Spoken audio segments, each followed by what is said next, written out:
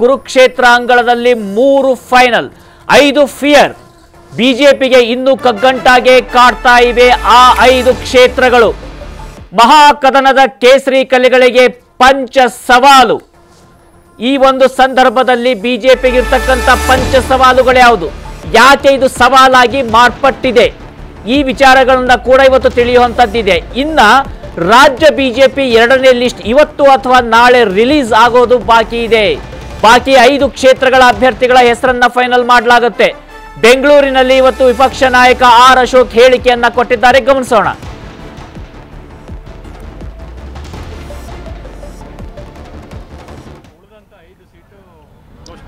ಇವತ್ತು ತೀರ್ಮಾನ ಆಗುತ್ತೆ. ಮೋಸ್ಟ್ಲಿ ಇವತ್ತು ರಾತ್ರಿ ಅಥವಾ ನಾಳೆ ಕರ್ನಾಟಕದ ಸೀಟ್ಗಳನ್ನು ಘೋಷಣೆ ಆಗುತ್ತೆ. ಜೆ ಡಿ ಎಸ್ ಮತ್ತು ಬಿ ಜೆ ಪಿ ಘೋಷಣೆ ಆಗುತ್ತೆ. ನಾವು ಜೆ ಡಿ ಎಸ್ ಮತ್ತು ಬಿ ಜೆ ಪಿ ಹಾಲು ಜೇನಿನಂತೆ ಕೆಲಸ ಮಾಡ್ತೀರಿ, ಅಣ್ಣ ತಮ್ಮಂದಿರಂತೆ ಕೆಲಸ ಮಾಡ್ತೀರಿ. ಒಟ್ಟಾರೆ ದೇವೇಗೌಡರು ಹೇಳಿದ ರೀತಿ ಆ ಪರಮೇಶ್ವರನ ಬೆಂಬಲ ಮೋದಿಯವರಿಗಿದೆ ಅವ್ರು ಮತ್ತೆ ಪ್ರಧಾನಮಂತ್ರಿ ಆಗಬೇಕು, ಅವ್ರ ಆಶೀರ್ವಾದ ಇದೆ ಅಂತ ದೇವೇಗೌಡರು ಹೇಳಿರೋದ್ರಿಂದ ನನಗೆ, ನಮಗೆ ಗೆಲ್ಲುವಂಥದ್ದು ಸುಲಭ. ಅದರಿಂದ ಗೆಲುವಿನ ಕಡೆ ದಾಪುಗಾಲನ್ನು ಹಾಕ್ತೀನಿ ಮೂರು ಫೈನಲ್ ಐದು ಫಿಯರ್ ಈ ಒಂದು ಸಂಗತಿಯನ್ನ ಗಮನಿಸೋದಾದ್ರೆ ಮಧು ಇಲ್ಲಿ ಪ್ರಮುಖವಾಗಿ ಅನ್ಸಂತದ್ದಂದ್ರೆ ಎರಡ್ ಸಾವಿರದ ಹದಿನಾಲ್ಕು ಮತ್ತೆ ಹತ್ತೊಂಬತ್ತು. ಆ ಸಂದರ್ಭದಲ್ಲಿ ನೋಡ್ತಾ ಇದ್ವಿ. ಟಿಕೆಟ್ ಘೋಷಣೆಯಿಂದ ಹಿಡಿದು ಯಾವುದೇ ವಿಚಾರದಲ್ಲಿ ಕಗ್ಗಂಟಿಲ್ಲ, ಹೆಚ್ಚು ವಾದಗಳಿಲ್ಲ, ವಿವಾದಗಳಿಲ್ಲ. ಮೋದಿ ಹೇಳಿದ್ದೆ ಫೈನಲ್, ಅಮಿತ್ ಶಾ ಹೇಳಿದ್ದೆ ಫೈನಲ್ ಅಂತಕ್ಕಂಥ ಸಂದರ್ಭ ಇದ್ದಿದ್ದು ಆಗ. ಆದರೆ ಈಗ ಎರಡ್ ಸಾವಿರದ ಇಪ್ಪತ್ನಾಲ್ಕರಲ್ಲಿ ಎಲ್ಲವೂ ತಿಳಿದುಕೊಂಡಂತೆ ಅಥವಾ ಭಾಸವಾಗುವಂತೆ ಇಲ್ವಾ? ಬಿಜೆಪಿ ಒಳಗಡೆ ಬೇಗುದಿ ಇಷ್ಟ್ಯಾಕೆ ಸ್ಫೋಟಗೊಳ್ತಾ ಇದೆ ಅಂತ. ರಾಘವೇಂದ್ರ, ಕಳೆದ ವಿಧಾನಸಭಾ ಚುನಾವಣೆಯ ದೂರಗಾಮಿ ಪರಿಣಾಮಗಳನ್ನು ಈ ಒಂದು ಟಿಕೆಟ್ ಹಂಚಿಕೆಯಲ್ಲೂ ಕೂಡ ನಾವು ಗಮನಿಸಬಹುದು ಯಾಕಂದರೆ ಕಳೆದ ಚುನಾವಣೆಯ ಸಂದರ್ಭದಲ್ಲಿ ಹೇಗೆ ಮೋದಿ ಕೇಂದ್ರಿತವಾಗಿ ಟಿಕೆಟ್ ಹಂಚಿಕೆಯಿಂದ ಹಿಡಿದು, ಪ್ರಚಾರ ಆಂದೋಲನದಿಂದ ಹಿಡಿದು ಎಲ್ಲದರಲ್ಲೂ ಕೂಡ ಕೇಂದ್ರ ನಾಯಕರ ಒಂದು ಫೈನಲ್ ಏನು ಮಾತಿಗೆ ಮನ್ನಣೆ ಸಿಕ್ಕಿದ್ದಂಥ ವಿಚಾರ ಮತ್ತು ಇಲ್ಲಿನ ಸ್ಥಳೀಯ ನಾಯಕರ ಅಭಿಪ್ರಾಯಗಳಿಗೆ ಅಥವಾ ಯಾವುದೇ ಒಂದು, ಏನು, ಬಣ, ಬಡಿದಾಟ ಎಲ್ಲವನ್ನು ಕೂಡ ಪಕ್ಕಕ್ಕಿಟ್ಟು ಲೆಕ್ಕಾಚಾರಗಳನ್ನು ಹಾಕಿದ್ರು. ಆದರೆ ಅದು ಕೊಟ್ಟಂಥ ಏನು ರಿಸಲ್ಟ್ ಏನಿದೆ, ಅದರಿಂದ ಆದಂಥ ಗಾಯ ಬಿ ಜೆ ಪಿಗೆ ಅವರ ಕಾರ್ಯಕರ್ತರು, ನಾಯಕರುಗಳಿಗೆ ಮಾತಾಡ್ಕೊಳ್ಳೋ ರೀತಿ ಥ್ಯಾಂಕ್ಫುಲಿ ಅವರಿಗೆ ಏನು ಫೈವ್ ಸ್ಟೇಟ್ ಸೆಲೆಕ್ಷನ್ ಟೈಮಲ್ಲಿ ಅತಿ ದೊಡ್ಡ ಹಿಂದಿ ರಾಜ್ಯಗಳನ್ನು ಗೆದ್ದಂಥ ಸಂದರ್ಭದಲ್ಲಿ ಅನುಕೂಲ ಆಯಿತು ಅಂದರೆ ಸ್ವಲ್ಪ ಆ ಒಂದು ಶಾಕಿಂದ ಹೊರಗೆ ಬರ್ಲಿಕ್ಕಾಯ್ತು. ಅದಾದ್ಮೇಲೆ ಅಲ್ಲಿವರೆಗೂ ಕೂಡ ಗ್ಯಾರಂಟಿ ಮತ್ತೊಂದು ಅದ್ರ ಬಗ್ಗೆ ಎಲ್ಲ ಮೂದಲಿಸ್ತಾ ಇದ್ರು ಕೂಡ ಅಥವಾ ಕಾಲಿಡ್ತಾ ಇದ್ರು ಕೂಡ ಅದು ಆ ಒಂದು ಚುನಾವಣೆಯ ಅಂದ್ರೆ ಪಂಚರಾಜ್ಯ ಚುನಾವಣೆಯ ಸಂದರ್ಭದಲ್ಲಿ ಮೋದಿ ಕಿ ಗ್ಯಾರಂಟಿ ಅಂತಲೂ ಅದನ್ನ ಫೈನಲ್ ಮಾಡೋದು. ಅಂದ್ರೆ ಆ ಮೆಸೇಜಿಂಗ್ ಬಗ್ಗೆ ಸ್ವಲ್ಪ ತುಂಬಾ ಕ್ಲೆವರ್ ಇದ್ದಾರೆ ಬಿಜೆಪಿಯವರು. ಕೋರ್ಸ್ ಕರೆಕ್ಷನ್ ವಿಚಾರದಲ್ಲಿ ತುಂಬಾ ಸ್ವಿಫ್ಟ್ ಆಗಿ ಅವರು ರಿಯಾಕ್ಟ್ ಆಗ್ತಾರೆ. ಸೊ ಆ ಕ್ವಿಕ್ ರಿಯಾಕ್ಷನ್ ಸ್ವಿಫ್ಟ್ ರಿಯಾಕ್ಷನ್ ಏನಿದೆ, ಅದ, ಅದರ ಒಂದು ರಿಫ್ಲೆಕ್ಷನ್ ಅನ್ನ ನಾವು ಈ ಒಂದು ಟಿಕೆಟ್ ಹಂಚಿಕೆಯಲ್ಲೂ ಕೂಡ ಕಾಣಬಹುದು ಅವತ್ತು ಯಡಿಯೂರಪ್ಪನವರನ್ನ ಸಪ್ರೆಸ್ ಮಾಡಲಾಯಿತು. ಕಡೆ ಕ್ಷಣದ ಒಂದು ಕಸರತ್ತಾಯಿತು ಅವರನ್ನ ಮುನ್ನೆಲೆಗೆ ತರುವಂಥದ್ದು ಅಥವಾ ವಿಜೇಂದ್ರ ಅವನ ಕರ ಮುನ್ನೆಲೆಗೆ ತರುವಂಥದ್ದು ಅವರ ಮನೆಯಲ್ಲಿ ಬ- ಏನು ತಿಂಡಿಯ ಬ್ರೇಕ್ಫಾಸ್ಟ್ ಸಂದರ್ಭದಲ್ಲಿ ವಿಜೇಂದ್ರ ಅವರಿಂದ ಹೂಗುಚ್ಛ ಸ್ವೀಕರಿಸಿದಂಥ ಅಮಿತ್ ಶಾ ಅವರ ಆ ಒಂದು ಕ್ಷಣ ಏನಿತ್ತು, ಅದು ಟೂ ಲೇಟ್ ಮತ್ತು ಟೂ ಲಿಟಲ್ ಅನ್ನೋ ರೀತಿ ಇತ್ತು. ಸೊ ಆದರೆ ಈ ಸಲ ಹಂಗೆ ಮಾಡ್ಕೊಂಡಿಲ್ಲ. ರಾಜ್ಯಾಧ್ಯಕ್ಷ ಹುದ್ದೆಯನ್ನು ಕೊಟ್ಟಾಗಿದೆ. ಯಡಿಯೂರಪ್ಪನವರ ಮಾತಿಗೆ ಮನ್ನಣೆಯನ್ನು ಕೊಟ್ಟದಾಗಿದೆ. ಬಹುತೇಕ ಎಂಬತ್ತು ಪರ್ಸೆಂಟ್ ಟಿಕೆಟ್ ಹಂಚಿಕೆಯಲ್ಲಿ ಎರಡು ಸಾವಿರದ ಹತ್ತೊಂಬತ್ತು ರೀತಿಯೇ ಯಡಿಯೂರಪ್ಪ ಅವರ ಅಭಿಪ್ರಾಯಗಳೇ ಮನ್ನಣೆ ಹಾಕಿದೆ. ವಿರೋಧಗಳು, ದೊಡ್ಡ ದೊಡ್ಡ, ಏನು ಸಂಘನಿಷ್ಠ, ಸ್ಥಳೀಯ ನಾಯಕರುಗಳು ಏನೇ ಇದ್ರೂ ಕೂಡ ಅವರ ಅಭಿಪ್ರಾಯಗಳು ಭಿನ್ನವಾಗಿದ್ದರೂ ಕೂಡ ಯಡಿಯೂರಪ್ಪನವರ ಫೈನಲ್ ಮಾತಿಗೆ ಮನ್ನಣೆಯನ್ನು ಕೊಡಲಾಗಿದೆ. ಸೊ ಮೆಸೇಜಿಂಗ್ ಮತ್ತು ಕೋರ್ಸ್ ಕರೆಕ್ಷನಲ್ಲಿ ಪಿಯ ಒಂದು ಇಮಿಡಿಯೇಟ್ ಫಾರ್ಮುಲಾ ಚೇಂಜಸ್ ಕಾಣ, ಕಾಣ್ತಿರೋದ್ರಿಂದ ಈ ಒಂದು ಟಿಕೆಟ್ ಹಂಚಿಕೆಯಲ್ಲೂ ಕೂಡ ಎರಡು ಸಾವಿರದ ಹತ್ತೊಂಬತ್ತು ಮತ್ತು ಇಪ್ಪತ್ನಾಲ್ಕರ ನಡುವಿನ ವ್ಯತ್ಯಾಸವನ್ನು ಕಾಣ್ತಾ ಇದ್ದೀವಿ. ಆ ವ್ಯತ್ಯಾಸಕ್ಕೆ ಮೂಲ ಕಾರಣ ವಿಧಾನಸಭಾ ಚುನಾವಣೆಯ ಫಲಿತಾಂಶ.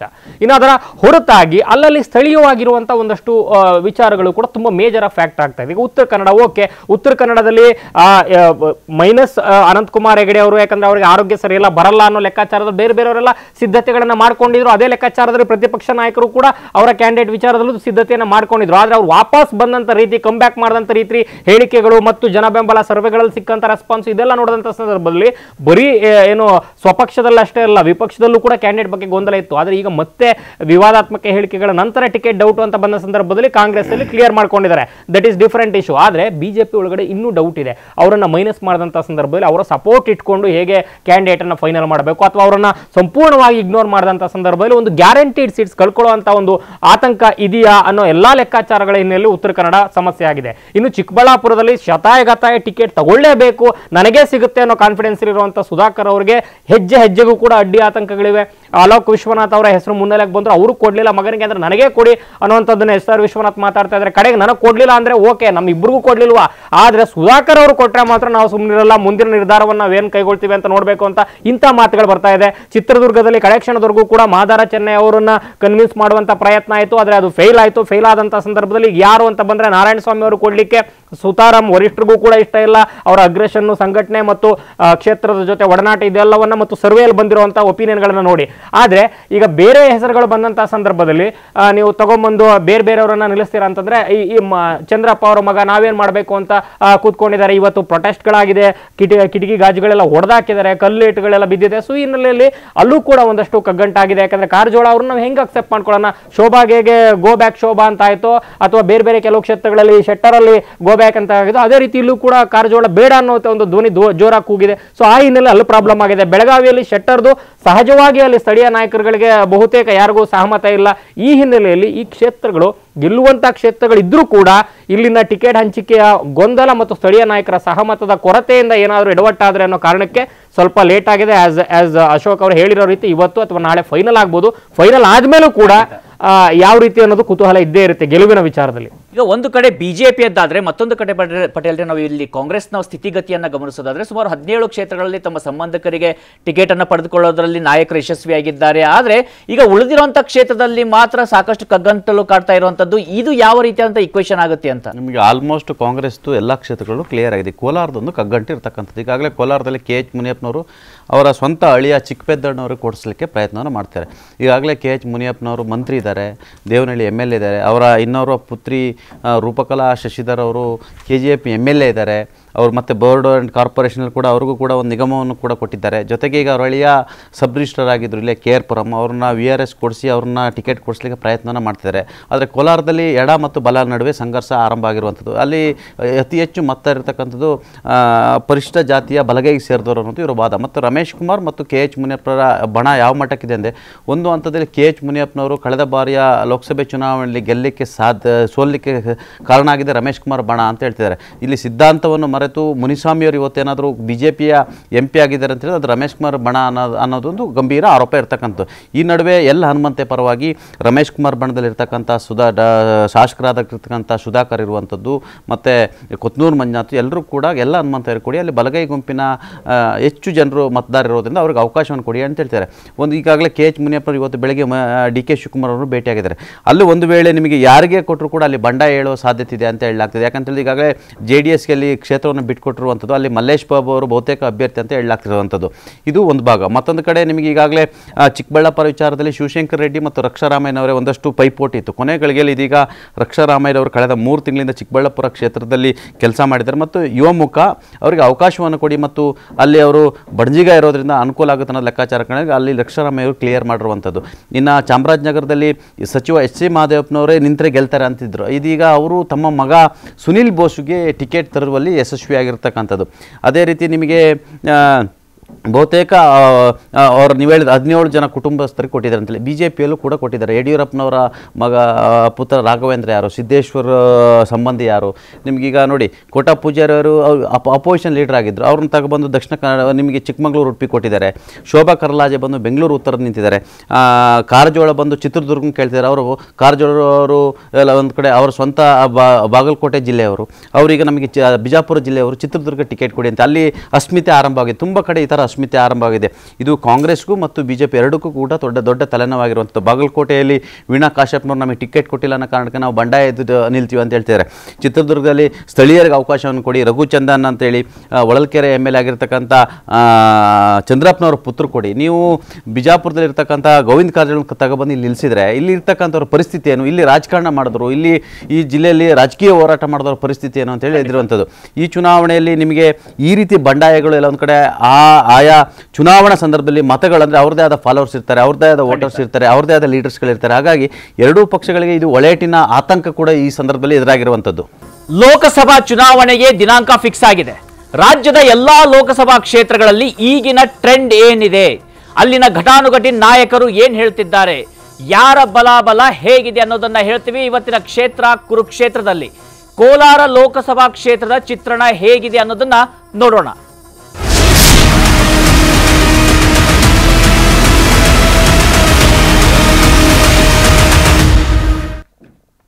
ಅಳೆದು ತೂಗಿ ಕೊನೆಗೂ ಕೋಲಾರ ಕ್ಷೇತ್ರವನ್ನ ಬಿಟ್ಟುಕೊಟ್ಟಿದೆ ಕೇಸರಿ ಪಡೆ. ಮಂಡ್ಯ, ಹಾಸನ ಜೊತೆಗೆ ಕೋಲಾರದಲ್ಲೂ ಕೂಡ ದಳಪತಿಗಳ ಫೈಟ್ ನಡೆಯುವಂಥದ್ದು. ಚಿನ್ನದ ನಾಡಿನ ದೊರೆಯಾಗೋದಕ್ಕೆ ದಳಪತಿ ಬಳಗದ ಲೆಕ್ಕಾಚಾರ ಶುರುವಾಗಿದೆ. ಸಾಕಷ್ಟು ಲೆಕ್ಕಾಚಾರವನ್ನ ಮಾಡಲಾಯಿತು. ಅಳೆದು ತೂಗಿ ಕೊನೆಗೂ ಬಿಜೆಪಿ ನಿರ್ಧಾರವನ್ನ ಮಾಡಿದೆ. ಕೋಲಾರವನ್ನ ಡಿ ಎಸ್ಗೆ ಕೊಟ್ಟಿರುವಂತದ್ದು ತನ್ನ ಪ್ರೆಸೆಂಟ್ ಸಂಸದ ಇರುವುದರ ಹೊರತಾಗಿ ಕೂಡ ಈ ನಿರ್ಧಾರವನ್ನ ಬಿಜೆಪಿ ಮಾಡಿದೆ ದೋಸ್ತಿಗಾಗಿ ಇನ್ನ ಈ ಚುನಾವಣೆ ನಾವೊಬ್ಬರೇ ಮಾಡ್ತಿಲ್ಲ ಜೆಡಿಎಸ್ ಜೊತೆಗೆ ಈ ಚುನಾವಣೆ ನಡೀತಾ ಇದೆ ಮಂಡ್ಯ ಹಾಸನ ಹಾಗೂ ಕೋಲಾರ ಸೀಟು ಜೆಡಿಎಸ್ಗೆ ಕೊಡ್ತೀವಿ ಅಂತ ಹೇಳಿ ಇವತ್ತು ರಾಧಾ ಮೋಹನ್ ದಾಸ್ ಅಗರ್ವಾಲ್ ಅವರು ಹೇಳಿದ್ದಾರೆ ನೋಡೋಣ ಗಮನಿಸೋಣ लड़ाई हम अकेले नहीं लड़ रहे ये लड़ाई हम जेडीएस के साथ मिलकर के लड़ रहे हैं हमने मांड्या की सीट हमने हासन की सीट और हमने कोलार की सीट जेडीएस को दी दी है तो हमारा नुकसान भी हुआ है। दी है तो हमारे वहाँ सांसद अगर रहे हैं दो सीटों पर तो हमारा नुकसान हुआ उन सांसदों के टिकट कटे हैं भारतीय जनता पार्टी अपने कार्यकर्ताओं के भविष्य की चिंता करने वाली पार्टी। क्या दिया था इसका कोई महत्व नहीं होता? क्या हुआ इसका महत्व होता है?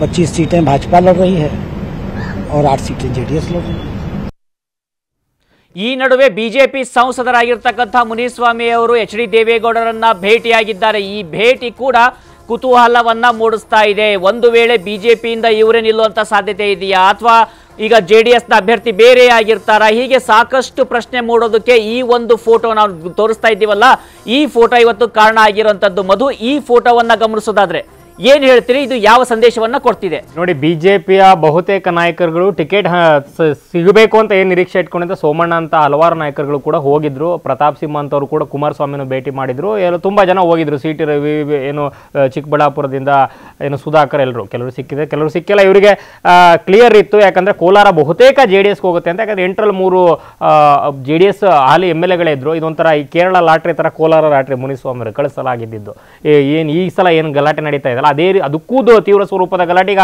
ಅಕ್ಕಪಕ್ಕ ಕೂತು ಮಾತಾಡೋಷ್ಟಾದ್ರೂ ಮೀಟಿಂಗ್ ಮಾಡಿಸ್ಬೇಕು ಅಂತಾದ್ರೂ ಲೆಕ್ಕಾಚಾರಗಳು ನಡೀತಾ ಇದೆ ಕಾಂಗ್ರೆಸ್ ಒಳಗಡೆ. ಯಾಕಂದ್ರೆ ಎರಡು ಬಣಗಳನ್ನ ಸರಿ ತಾರಿ ತರಲಿಲ್ಲ ಅಂದ್ರೆ ಮತ್ತೊಮ್ಮೆ ಇದು ಮೈತ್ರಿಗೆ ಅನುಕೂಲ ಆಗುತ್ತೆ ಅನ್ನೋ ಕಾರಣಕ್ಕೆ. ಆದ್ರೆ ಕಳಿಸಲ ಇನ್ನೂ ತೀವ್ರ ಸ್ವರೂಪ ಇದ್ದಿದ್ರಿಂದ ಅದರ ಸಹಜವಾದ ಲಾಭ ಇವರಿಗೆ ಸಿಕ್ತು ಮತ್ತು ಜೆ ಡಿ ಎಸ್ ಅವತ್ತು ಮೈತ್ರಿ ಒಳಗಿರಲಿಲ್ಲ. ಆದ್ರೆ ಮೈತ್ರಿ ಹೊರಗಿದ್ದ ಬಾಹ್ಯ ಬೆಂಬಲದಲ್ಲೇ ಎಲ್ಲವನ್ನೂ ಕೂಡ ಅನುಕೂಲ ಮಾಡಿಕೊಟ್ಟಿದ್ದರಿಂದಲೇ ಮುನಿಸ್ವಾಮಿ ಅವ್ರಿಗೂ ಕೂಡ ಹೆಲ್ಪ್ ಆಗಿದ್ದಿದ್ದು. ಅದು ಬೇರೆ ವಿಚಾರ. ಆದ್ರೆ ಈ ಸಲ ಕೋಲಾರ ನಮಗೆ ಬೇಕೇ ಬೇಕು ನಮ್ಮ ಒಂದು ಎಕ್ಸ್ಪ್ಯಾನ್ಷನ್ನು ಅಥವಾ ನಾವು ಮುಂದಿನ ಭವಿಷ್ಯದ ಲೆಕ್ಕಾಚಾರಗಳನ್ನು ಹಳೆ ಮೈಸೂರಲ್ಲಿ ನಮ್ಮ ಪಕ್ಷಕ್ಕೊಂದು ಲಾರ್ಜರ್ ವೋಟ್ ಶೇರ್ ಬೇಕು, ಅದನ್ನು ಒಂದು ಕನ್ಸಾಲಿಡೇಷನ್ ಆಗಿ ಇಟ್ಕೊಬೇಕು ಅಥವಾ ನಾಳಿನ ಚೌಕಾಸಿಗಳಿಗೆ ಬೇಕು ಅನ್ನೋ ಸಂದರ್ಭದಲ್ಲಿ ತುಂಬ ಒತ್ತಡ ಬಂದಿತ್ತು ಕೋಲಾರದಲ್ಲಿ ಜೆ ಡಿ ಎಸ್ ಕಾರ್ಯಕರ್ತರಿಂದ, ಸ್ಥಳೀಯ ನಾಯಕರುಗಳಿಂದ.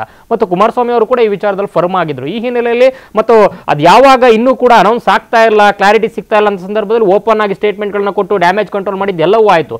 ಫೈನಲ್ ಈಗ ಬಿಜೆಪಿ ಕಡೆಯಿಂದನೇ ಅಂಥದ್ದೊಂದು ಮಾತು ಬಂದಿದೆ. ಏನು ಕೊಟ್ಟಿವೆ ಅನ್ನೋದಲ್ಲ, ಏನು ಆಗ್ತಾ ಇದೆ ಅನ್ನೋದು ಇಂಪಾರ್ಟೆಂಟು. ಸೊ ನಾವು ಗೆಲ್ತೀವಿ, ಜೊತೆಗೆ ಹೋರಾಟ ಮಾಡ್ತೀವಿ ಅನ್ನೋ ಮಾತು ಹೇಳ್ತಾ ಇದ್ದಾರೆ. ಅದಕ್ಕೆ ಪೂರಕವಾಗಿ ಕೋಲಾರದಲ್ಲಿ ಜೆ ಡಿ ಎಸ್ಗೆ ಈಗ ಮೈತ್ರಿಯ ಬೆಂಬಲವೂ ಸಿಕ್ಕಿರೋದ್ರಿಂದ ಬಿಜೆಪಿ ಒಂದು ಗಣನೀಯ ಒಂದಷ್ಟು ವೋಟ್ ಬ್ಯಾಂಕ್ ಕೂಡ ಇದೆ ಲೋಕಸಭಾ ಅಂತ ಬಂದ ಸಂದರ್ಭದಲ್ಲಿ. ಆದರೆ ವಿಧಾನಸಭಾ ಚುನಾವಣೆಯಲ್ಲಿ ಏನಾಗಿದೆ ಎಲ್ಲರಿಗೂ ಗೊತ್ತು. ಮುನಿಸ್ವಾಮಿ ಅವರಿಗೆ ವೈಯಕ್ತಿಕ ವರ್ಚಸ್ ಇದ್ದಿದ್ದಿದ್ರೆ ಸಂಸದರಾಗಿ ಅಕಸ್ಮಾತ್ ಅವರು ವೋಟ್ ಶೇರ್ ಆದರೂ ಗಣನೀಯವಾಗಿ ಏರಿಕೆ ಆಗಬೇಕಿತ್ತು. ಸೀಟಾಗಿ ಕನ್ವರ್ಟ್ ಆಗಲಿಲ್ಲ ಅಂದ್ರೂ ಒಂದು ಸ್ಥಾನವನ್ನು ಗೆಲ್ಲಕ್ಕಾಗಲಿಲ್ಲ ಅದು ಬೇರೆ ಪ್ರಶ್ನೆ. ಸೊ ಈ ಹಿನ್ನೆಲೆಯಲ್ಲಿ ಈಗ ಎರಡೂ ಸೇರಿರೋದ್ರಿಂದ ಕಾಂಗ್ರೆಸ್ಗೆ ಒಂದು ರೀತಿ ಥ್ರೆಟ್ಟೆ. ಆದರೆ ಕಾಂಗ್ರೆಸ್ ಆ ಥ್ರೆಟ್ಟು, ಆ ಥ್ರೆಟ್ಟನ್ನು ಮೀರಬೇಕು ಅಂತಂದರೆ ಅಲ್ಲಿಗಿರೋ, ಅಲ್ಲಿ ಈಗಾಗಲೇ ಸೃಷ್ಟಿಯಾಗಿರುವಂಥ ಏನು ಒಳ ಜಗಳಗಳನ್ನು ಮ್ಯಾನೇಜ್ ಮಾಡುವಂಥದ್ದು ಈಗಲೂ ಕೂಡ ದೊಡ್ಡ ತಲೆನೋವಿದೆ. ರಮೇಶ್ ಕುಮಾರ್ ಬಣ ಮತ್ತು ಏನು ಸಚಿವ ಮುನಿಯಪ್ಪ ಅವರನ್ನ ಪ, ಅಕ್ಕಪಕ್ಕ ಕೂರಿಸಿ ಎಲ್ಲವೂ ಸರಿ ಹೋಗಿದೆ ಅಂತ ಅವರ ಜೊತೆ ಜೊತೆಯಾಗಿ ಪ್ರಚಾರ ಮಾಡಿಸುವಂಥ ಪ್ರಯತ್ನಗಳು ಕೂಡ ಹಿನ್ನೆಲೆ, ಆ ಹಿನ್ನೆಲೆಯಲ್ಲಿ ನೋಡೋದಾದರೆ ಸ್ವಲ್ಪ ಸವಾಲಿದೆ. ಇನ್ನು ಚಿಕ್ಕಪದ್ದಣ್ಣ ಅವರು ಏನು ಈಗಾಗಲೇ ರಿಸೈನ್ ಮಾಡಿದ್ದಾರೆ, ಅವರು ಕೊಡಿಸ್ಲೇಬೇಕು ಅಂತ ಕಡೆ ಕ್ಷಣದ ಒಂದು ಕಸರತ್ತನ್ನು ಮುನಿಯಪ್ಪ ಅವ್ರು ಮಾಡ್ತಾ ಇದ್ದಾರೆ. ಆದರೆ ಅದನ್ನು ಪರಿಗಣಿಸುತ್ತಾ ಬಹುತೇಕ ಅವರಿಗೆ ಸಿಗುತ್ತಾ ಅಥವಾ ಮುನಿಯಪ್ಪ ಅವರನ್ನೇ ಪುಷ್ ಮಾಡುತ್ತಾ ಇಂತಹ ಪ್ರಶ್ನೆ ಇನ್ನೂ ಕೂಡ ಕಾಂಗ್ರೆಸ್ ಒಳಗಡೆ ಲೆಕ್ಕಾಚಾರಗಳು ನಡೀತಾ ಇದೆ. ಅದರ ಹೊರತಾಗಿ ಮೈತ್ರಿಯಲ್ಲಿ ಅದರಲ್ಲೂ ಕೂಡ ಜೆ ಡಿ ಎಸ್ ಕಳಿಸಲಕ್ಕಿಂತ ಈ ಸಲ ಒನ್ ಪ್ಲಸ್ ಟೂ ಮಾಡಿಕೊಂಡು ತ್ರೀ ವರ್ಗಾದರೂ ಬರಲೇಬೇಕು ಅನ್ನೋ ಲೆಕ್ಕಾಚಾರದಲ್ಲಿ, ಮೈತ್ರಿ ಲೆಕ್ಕಾಚಾರದಲ್ಲಿ ನಡೀತಾ ಇದೆ. ಅದಕ್ಕೆ ಪೂರ್ವಕಾಗಲಿರುವಂಥ ಒಕ್ಕಲಿಗ ಮತ ಬ್ಯಾಂಕು ಮತ್ತು ದಳಕ್ಕಿರುವಂಥ ಒಂದಷ್ಟು ಲೋಕಲ್ ಬೇಸ್ ಎಲ್ಲ ಲೆಕ್ಕಾಚಾರದಲ್ಲಿ ಮೈತ್ರಿ ಅಭ್ಯರ್ಥಿ ನಿಂತಿದ್ರೆ ಕಾಂಗ್ರೆಸ್ ಗ್ಯಾರಂಟಿ ಅಹಿಂದ ವರ್ಗ, ಮುಸ್ಲಿಂ ಏನು ಅತಿ ದೊಡ್ಡ ಸಂಖ್ಯೆಯಲ್ಲಿದೆ. ಮತ್ತು ಬೇರೆ ಒಕ್ಕಲಿಗ ಮತ್ತು ಡಿ ಕೆ ಶಿವಕುಮಾರ್ ಸಂಘಟನೆ ಈ ಎಲ್ಲ ಲೆಕ್ಕಾಚಾರದಲ್ಲಿ ಕಾಂಗ್ರೆಸ್ನ ಅಭ್ಯರ್ಥಿ ಕೂಡ ಏನು ನಿರೀಕ್ಷೆಯಲ್ಲಿ ಇದ್ದಾರೆ. ಕಾಂಗ್ರೆಸ್ ಅಭ್ಯರ್ಥಿನ ಗೆಲ್ಲಿಸಬೇಕು ಅಂತ ಆದರೆ ಅಭ್ಯರ್ಥಿ ಯಾರು ಅನ್ನೋದ್ರ ಮೇಲೆ ಕಾಂಗ್ರೆಸ್ ಲೆಕ್ಕಾಚಾರ ಗೊತ್ತಾಗುತ್ತೆ. ಖಂಡಿತವಾಗಿ ಒಂದು ಕಡೆ ಕಾಂಗ್ರೆಸ್ನ ಲೆಕ್ಕಾಚಾರ ನಡೀತಾ ಇದೆ. ಈಗ ಜೆಡಿಎಸ್ಗೆ ಬಿಟ್ಟು ಕೊಟ್ಟಿರೋದ್ರಿಂದ ಒಂದು ಈ ಫೋಟೋವನ್ನು ಗಮನಿಸಿದ್ರೆ ಒಂದು ಪ್ರಶ್ನೆ ಸಹಜವಾಗಿ ಮೂಡುತ್ತೆ. ಈಗ ಬೆಂಗಳೂರು ರೂರಲ್ ಡಾಕ್ಟರ್ ಮಂಜುನಾಥ್ ಕೊಟ್ಟ ಹಾಗೆ ಕೋಲಾರದಲ್ಲಿ ಏನಾದರೂ ಈ ರೀತಿಯಾದ ಇಕ್ವೇಶನ್ ಆಗ್ಬೋದು? ಅಥವಾ ಕೋಲಾರದಲ್ಲಿ ಜೆಡಿಎಸ್ಗೆ ಅಂತ ಅಭ್ಯರ್ಥಿ ಇರುವಂತದ್ದಾದ್ರೆ ಯಾರು? ಯಾವ ರೀತಿಯಾಗಿರ್ತಕ್ಕಂಥ ಪ್ಲಾನಿಂಗ್ ಅಲ್ಲಿ ನಡೀತಾ ಇದೆ ಜೆಡಿಎಸ್ ಈಗ ಜೆ ಡಿ ಎಸ್ನವರು ಮಲ್ಲೇಶ್ ಬಾಬು ಅನ್ನೋರನ್ನ ನಿಲ್ಲಿಸಲಿಕ್ಕೆ ಎಲ್ಲ ಪ್ರಯತ್ನವನ್ನು ಮಾಡ್ತಿರುವಂಥ ಜೊತೆಗೆ Devanahalli ex M L A Nisarga Narayana Swamy ಹೆಸರು ಕೂಡ ಕೇಳಿ ಬರ್ತಿರುವಂಥದ್ದು ಈಗ ಮುನಿಸ್ವಾಮಿಯರು ಹೇಳ್ತಿರೋದು ನಾನು ಹಾಲಿ ಸಂಸದ ಇದ್ದೀನಿ. ಜೆ ಡಿ ಎಸ್ ಚಿಹ್ನೆಯಿಂದಲೇ ನನಗೆ ಅವಕಾಶ ಕೊಟ್ಟರೆ ನಿಲ್ತೀನಿ ಅಂತೇಳಿ ಇವತ್ತು ಎಚ್ ಡಿ ಎಚ್ ಡಿ ದೇವೇಗೌಡರನ್ನ ಭೇಟಿಯಾದ ಸಂದರ್ಭ ನನಗೊಂದು ಅವಕಾಶ ಕೊಡಿ. ನಾನು ಹಾಲಿ ಸಂಸದ ಇದ್ದೀನಿ ಕಾಂಟ್ಯಾಕ್ಟ್ ಇದೆ ನನ್ನ ಜೊತೆ ಕಾರ್ಯಕರ್ತರಿದ್ದಾರೆ ಇಡೀ ಕ್ಷೇತ್ರವನ್ನು ಓಡಾಡಿದ್ದೀನಿ ಒಂದಷ್ಟು ಫಂಡನ್ನು ತಂದಿದ್ದೀನಿ. ಹಾಗಾಗಿ ನನಗೆ ಅವಕಾಶವನ್ನು ಕೊಡಿ. ಜೆ ಡಿ ಎಸ್ ಚಿಹ್ನೆ ಅಡಿಯಲ್ಲೇ ನಾನು ಚುನಾವಣೆಗೆ ನಿಲ್ತೀನಿ ಅಂತೇಳಿ ಈಗ ಮನವಿಯನ್ನು ಮಾಡಿಕೊಂಡಿದ್ದಾರೆ. ಮಾಜಿ ಪ್ರಧಾನಿ ಎಚ್ ಡಿ ದೇವೇಗೌಡರನ್ನು ಇವತ್ತು ದೆಹಲಿಯಲ್ಲಿ ಭೇಟಿಯಾದ ಸಂದರ್ಭದಲ್ಲಿ ಅವರು ಆ, ಮುನಿಸ್ವಾಮಿಯವರು ಮನವಿಯನ್ನು ಮಾಡ್ಕೊಂಡಿದ್ದಾರೆ. ಯಾಕಂತೇಳಿದ್ರೆ ಏನು ಜೆ ಡಿ ಎಸ್ಸಲ್ಲಿ ಯಾ, ಯಾವಾಗ ಏನು ಬೇಕಾದ್ರೆ ಆಗ್ಬೋದು. ಮಂಜುನಾಥ್ ಪ್ರಸಾದ್ ಡಾಕ್ಟರ್ ಮಂಜುನಾಥ್ ಅವರು ಆ್ಯಕ್ಚುಲಿ ದೇವೇಗೌಡರ ಅಳಿಯ. ಆದರೆ ರಾಜಕೀಯ ಬದಲಾವಣೆ ಮತ್ತು ಸ್ಥಿತ್ಯಂತರ ಪರಿಣಾಮ ಅವರು ಈಗ ಭಾರತೀಯ ಜನತಾ ಪಕ್ಷದ ಅಭ್ಯರ್ಥಿಯಾಗಿ ಬೆಂಗಳೂರು ಗ್ರಾಮಾಂತರ ಕಣಕ್ಕಿಳಿದ್ರು. ಹಾಗಾಗಿ ಮುನಿಸ್ವಾಮಿ ಅವರು ಕೂಡ ಪ್ರಯತ್ನವನ್ನು ಮಾಡ್ತಾರೆ. ನಿಮಗೆ ಅಲ್ಲಿ ಆ್ಯಕ್ಚುಲಿ ಆ ಕ್ಷೇತ್ರ ಬಿಟ್ಕೊಡೋಕ್ಕೆ ಬಿ ಜೆ ಪಿಗೆ ಮನಸ್ಸೇ ಇರಲಿಲ್ಲ. ಯಾವಾಗ ಕುಮಾರಸ್ವಾಮಿ ಅವರು ಎರಡು ಸೀಟನ್ನು ಮೈತ್ರಿ ತೆಗೆದುಕೊಳ್ಳೋಕ್ಕೆ ಈ ಇದಕ್ಕೆ ನಾವು ಮೈತ್ರಿ ಮಾಡ್ಕೋಬೇಕಂತ ಪ್ರಶ್ನೆಯನ್ನು ಮಾಡಿದರು. ಇದು ಎಲ್ಲೊಂದು ಕಡೆ ಕಾರ್ಯಕರ್ತರಲ್ಲಿ ಅಸಮಾಧಾನದ ಹೊಗೆ ತುಂಬುತ್ತೆ. ಇದು ಮತಗಳ ಮತದಾನದ ವಿಚಾರದಲ್ಲಿ ಜೆ ಡಿ ಎಸ್ ಅವರು ಕೈ ಕೊಡ್ತಾರೆಂಬ ಆತಂಕದಿಂದ ಭಾರತೀಯ ಜನತಾ ಪಕ್ಷದವರು ಅನಿವಾರ್ಯವಾಗಿ ಇವತ್ತು ಬಿಟ್ಕೊಡುವಂಥ ಪರಿಸ್ಥಿತಿ ನಿರ್ಮಾಣ ಆಗಿರುವಂಥದ್ದು.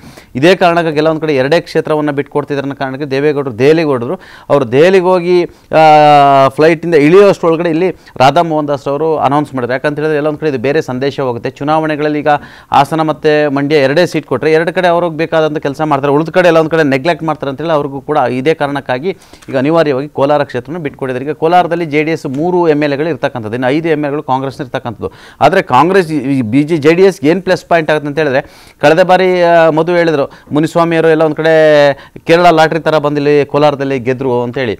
ಅದೇ ರೀತಿಯಲ್ಲಿ ರಮೇಶ್ ಕುಮಾರ್ ಬಣ ವಿರೋಧ ಮಾಡಿದ್ಕಾಗಿ ಕೆ ಎಚ್ ಮುನಿಯಪ್ಪನವರು ನಿರಂತರವಾಗಿ ಗೆಲ್ತಾ ಇದ್ರು. ಇಡೀ ಕೋಲಾರ ಮತ್ತು ಚಿಕ್ಕಬಳ್ಳಾಪುರದಲ್ಲಿ ಜಾತಿ ಹೆಸರಿನಲ್ಲಿ ಕಂಟ್ರೋಲ್ ತಗೊಳ್ತಿದ್ರು ಮತ್ತು ಅವರು ರಾಜಕೀಯವಾಗಿ ಜೆ ಡಿ ಎಸ್ ಜೊತೆಗೆ ಅಂಡರ್ಸ್ಟ್ಯಾಂಡಿಂಗ್ ಮಾಡ್ತಿದ್ರು. ರಾಜಕೀಯವಾಗಿ ಕಾಂಗ್ರೆಸ್ನಲ್ಲಿ ಮಂತ್ರಿ ಆಗಿದ್ರು ಕೂಡ ಬಿ ಜೆ ಪಿ ಜೊತೆ ಅಂಡರ್ಸ್ಟ್ಯಾಂಡಿಂಗ್ ಇತ್ತು. ಅವರು ಕಾಂಗ್ರೆಸ್ನ ಅನೇಕ ಲೀಡರ್ಗಳನ್ನು ತುಳಿದ್ರು ಅಂತ ಹೇಳಿ ಗಂಭೀರ ಆರೋಪಿತ್ತು ಹಾಗಾಗಿ ಅವ್ರನ್ನೇ ತುಳಿಬೇಕಂತ ಎಲ್ಲ ಪ್ರಯತ್ನ ಮಾಡಿದರು. ಎಲ್ಲ ಪ್ರಯತ್ನ ಮಾಡಿ ತುಳಿದ್ರು. ಅವ್ರು ಸೋತರು ಮತ್ತು ಅದು ಆ- ಕೊಡುಗೆಯ ಪರಿಣಾಮ ಮುನಿಸ್ವಾಮಿಯವರು ಗೆದ್ದರು ಆದರೆ ಕಾಂಗ್ರೆಸ್ ಪಕ್ಷ ಎಲ್ಲ ಸೈದ್ಧಾಂತಿಕ ಭಿನ್ನಾಭಿಪ್ರಾಯ ಇದ್ರು ಕೂಡ ಅವ್ರ ಬಗ್ಗೆ ಯಾವುದೇ ರೀತಿ ನೋಟಿಸ್ ಕೊಡೋದಾಗಲಿ ಅವ್ರನ್ನ ಪಕ್ಷದಿಂದ ತೆಗೆಯುವಂಥದ್ದು ಏನು ಮಾಡಲಿಲ್ಲ. ಆದರೆ ಈಗ ಕೆ ಎಚ್ ಮುನಿಯತ್ಮರಿಗೆ ಭಾಳಷ್ಟು ಆಸೆ ಉಕ್ಕಿಬಿಟ್ಟಿದೆ ಅವರಿಗೆ. ನ ಮಗಳು ಆಗಿದ್ದಾರೆ ನಾನಾಗಿದ್ದೀನಿ ಅಳಿಗೆ ಒಂದು ಕೊಡ್ಸೋಣ ಅಂತೇಳಿ ಮೋಸ್ಟ್ಲಿ ಅವ್ರ ಫ್ಯಾಮಿಲಿ ಕಾಂಪಿಟೇಷನ್ ಇರ್ಬೋದು. ಯಾಕಂದರೆ ಈಗ ರೂಪ ಅವರಿದ್ದಾರೆ, ಅವರ ಶಶಿಧರ್ ಅವರು ಅಂಡರ್ ಸೆಕ್ರೆಟರಿ ವಿಧಾನಸೌಧದಲ್ಲಿ, ಅವ್ರು ಇನ್ನೋರ್ವ ಮಗಳ ಪತಿ ಚಿಕ್ಕಪೆದ್ದಣ್ರವರು ಬಹುಶಃ ಅವ್ರ ಇಡೀ ಫ್ಯಾಮಿಲಿ ಒಂದು ಗಿಫ್ಟ್ ಕೊಡಬೇಕು, ಅವ್ರನ್ನ ಎಂ ಪಿ ಆಗಿ ಮಾಡಬೇಕಂತ ಅವ್ರ ಕನಸು. ಹಾಗಾಗಿ ಅವ್ರು ಎಲ್ಲ ರೀತಿಯ ಶತ ಪ್ರಯತ್ನವನ್ನು ಮಾಡ್ತಿದ್ದಾರೆ. ಆದರೆ ಅವ್ರು ನಿಂತರೆ ನಾವ್ಯಾಕೆ ಸಪೋರ್ಟ್ ಮಾಡೋಣ? ಅವ್ರ ಮನೇಲಿ ಈಗ ಕೆ ಎಚ್ ಮುನಿಯಪ್ಪ ಮಂತ್ರಿ ಇದ್ದಾರೆ ಮಗಳೊಬ್ಬರು ಎಂ ಎಲ್ ಇದ್ದಾರೆ, ಹೊಸಬ್ರಿಗೆ ಅವಕಾಶ ಕೊಡಿ ಅಂತ ಹೇಳ್ತಿದ್ದಾರೆ. ರಾಜ್ಯಸಭಾ ಟಿಕೆಟನ್ನು ಎಲ್ಲ ಒಂದು ಕಡೆ ಎಲ್ಲ ಹನುಮಂತನ ಕೊಡಲಿಲ್ಲ. ಹಾಗಾಗಿ ಎಲ್ಲ ಹನುಮಂತವರಿಗೆ ನ್ಯಾಯ ದೊರಕಿಸ್ಕೊಡ್ಬೇಕಂತೇಳಿ ಕೋಲಾರದಲ್ಲಿ ಟಿಕೆಟನ್ನು ಇವ್ರಿಗೆ ಕೊಡಿ. ಮತ್ತು ಬಲಗೈನ ಮತದಾರ ಹೆಚ್ಚು ಇರೋದರಿಂದ ಅವಕಾಶ ಆಗುತ್ತೆ ಅನ್ನೋದು ರಮೇಶ್ ಕುಮಾರ್ ಬಣದವರು ಒತ್ತಾಯ. ಈಗಾಗಲೇ ಐದು ಜನ ಎಂ ಎಲ್ ಎಗಳಲ್ಲಿ ಐದು ಜನ ಎಂ ಎಲ್ ಎಗಳು ಕೂಡ ಇದೀಗ ರಮೇಶ್ ಕುಮಾರ್ ಬಣದಲ್ಲಿ ಜೊತೆ ಇರ್ತಕ್ಕಂಥವ್ರು. ಮತ್ತು ಎಲ್ಲ ಹನುಮಂತ ಅವರಿಗೆ ಟಿಕೆಟ್ ಕೊಡಿ ಅಂತೇಳಿ ಪ್ರಯತ್ನ ಮಾಡ್ತಿರುವಂಥದ್ದು. ಈ ನಡುವೆ ನಿಮಗೆ ಕಾಂಗ್ರೆಸ್ನಿಂದ ಇನ್ನೂ ಅನೇಕರ ಹೆಸರುಗಳು ಈಗ ಮುನ್ನೆಲೆಗೆ ಬಂದಿರುವಂಥದ್ದು. ಅನೇ ಈಗಾಗಲೇ ಕಮಲಾಕ್ಷಿ ರಾಜಣ್ಣ ಅಂತ ಹೊಸಬ್ರು ಹೆಸರು ಎಂಟ್ರಿ ಕೊಟ್ಟಿರ್ತಕ್ಕಂಥದ್ದು. ಕೋಲಾರದ ಇನ್ನೊಬ್ಬರ ಹೆಸರುಗಳ ಎಂಟ್ರಿ ಕೊಟ್ಟಿರ್ತಕ್ಕಂಥದ್ದು. ಹಾಗಾಗಿ ಇದರ ಲಾಭ ಏನಾದರೂ ಪಡಿಬಹುದು ಅನ್ನೋ ಕಾರಣಕ್ಕಾಗಿ ಮುನಿಸ್ವಾಮಿ ಮತ್ತೆ ಪ್ಲಾ ಏನು ಜೆ ಡಿ ಎಸ್ ಚಿಹ್ನೆ ಅಡಿ ನಿಲ್ಲುವ ಪ್ರಯತ್ನವನ್ನು ಮಾಡ್ತಿರುವಂಥದ್ದು. ಮತ್ತು ಜೆ ಡಿ ಎಸ್ ಕೂಡ ಇವರ ಕಿತ್ತಾಟ ನಮಗೆ ಲಾಭ ಆಗ್ಬೋದು ಒಂದು ಲೆಕ್ಕಾಚಾರ.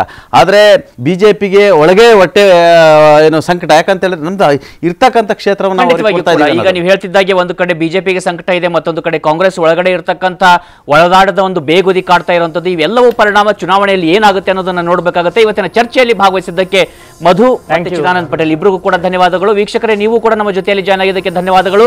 ನೋಡ್ತಾರೆ ನ್ಯೂಸ್ ಏಟೀನ್ ಕನ್ನಡ. ಕನ್ನಡಿಗರ ಮೆಚ್ಚಿನ ನಿಮ್ಮ ನ್ಯೂಸ್ ಏಟೀನ್ ಕನ್ನಡ ಈಗ ವಾಟ್ಸ್ಆಪ್ನಲ್ಲಿಯೂ ಲಭ್ಯ.